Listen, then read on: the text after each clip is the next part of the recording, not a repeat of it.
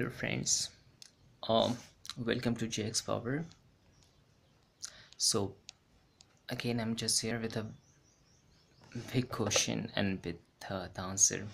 The biggest question and the most complicated question is who am i?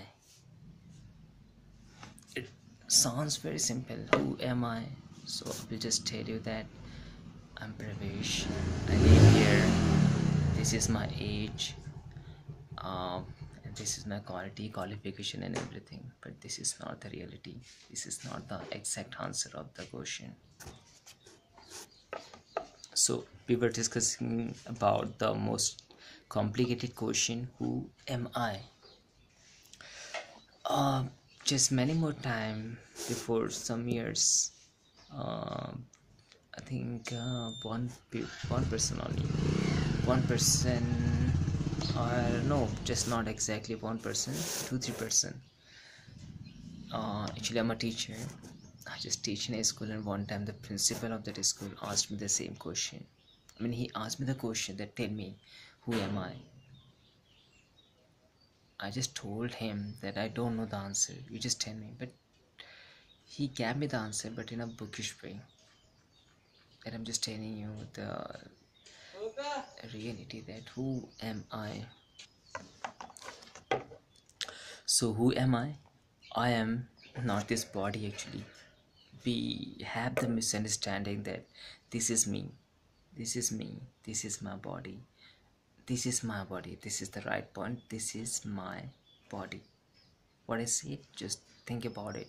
I said, this is my body. That means this is not me this is my body. So who am i? I am just the soul with another part. I'm not just only the soul. Because if i was only the soul so soul doesn't speak up. Soul doesn't have any feeling. Soul doesn't feel anything. It doesn't feel happiness. It doesn't feel pain. It doesn't feel anything so i'm i'm the soul. The soul is the part of me but i'm not just only the soul. I am the soul and my subconscious mind. Yeah this is true. The soul and the subconscious mind is me. Some people say that i'm just a soul only the soul. And uh, when i believe this cloth I will leave this trace. So only the soul will enter in another life. The soul will just leave my body. Nothing else will go with the soul. But this is not true. With the soul or subconscious mind, our subconscious mind is the part of our soul.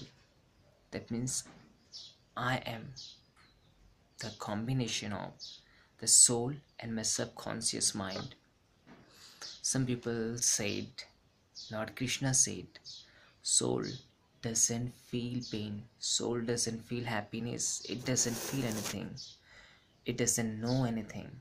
That's true.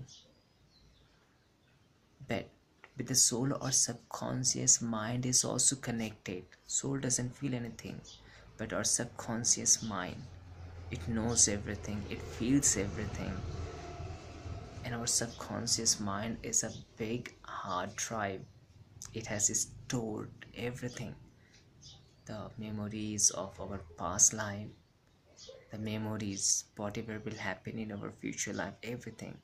Everything has been stored in our subconscious mind by the god. So just because of that uh, i mean some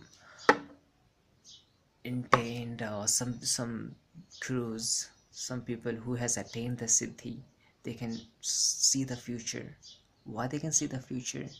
Because after attaining the siddhi they can use their subconscious mind. And by using the subconscious mind they can see each and everything. They can control everything. Because subconscious mind is the part of god we know that many more people say that we are the part of God. We are means not this body. This body is not the part of God. but our soul and subconscious mind is a part of God. So who am I?